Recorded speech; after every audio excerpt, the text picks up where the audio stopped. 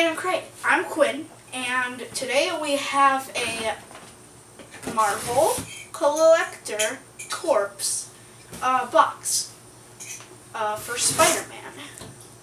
Let's see what's inside. okay, looks like we have two Spider-Man uh, badges. Uh, first, we have this uh, Spider-Man badge. That looks pretty cool, pretty well made. It says Marvel at the top. Next, we have this uh, a Spider-Man pin. It is it's it's uh, Spider-Man, obviously. It it it has a spider on it, and it also has Marvel at the top. So next we have this Spider-Man comic book.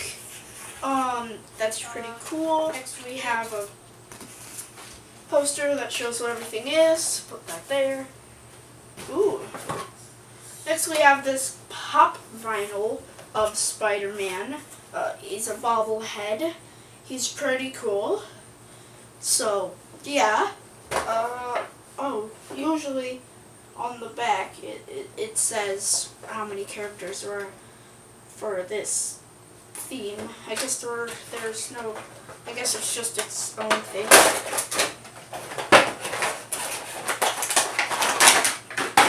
Oh yeah, Spooderman. Alright, next we have this Spider-Man hat. Wow, that is nice. That's a nice hat. Um, it, it says The Amazing Spider-Man. Uh, yeah, it's a, it's a, one of these, these things.